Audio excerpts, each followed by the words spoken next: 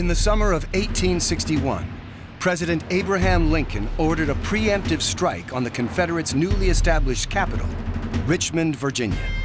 Lincoln feared the South's army might try to capture Washington, only a hundred miles to the north.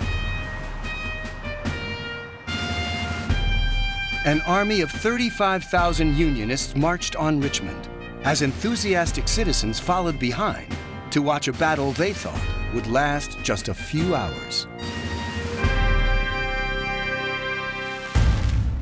Meanwhile, in the South, the Confederate States were mobilizing and using the railroads effectively.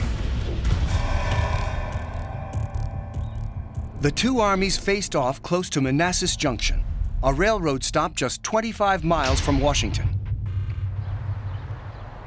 For the South, victory here could speed up the siege of the nation's capital.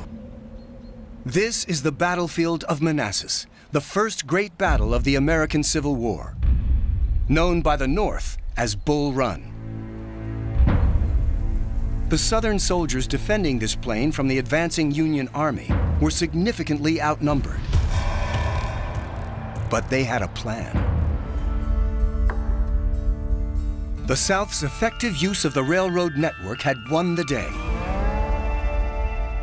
But the Confederate generals knew they would continue to be outnumbered and outgunned, and future victories would depend on getting troops to battlefronts quickly. Meanwhile, President Lincoln, reeling from his defeat by the South, realized the key to victory lay with these iron monsters.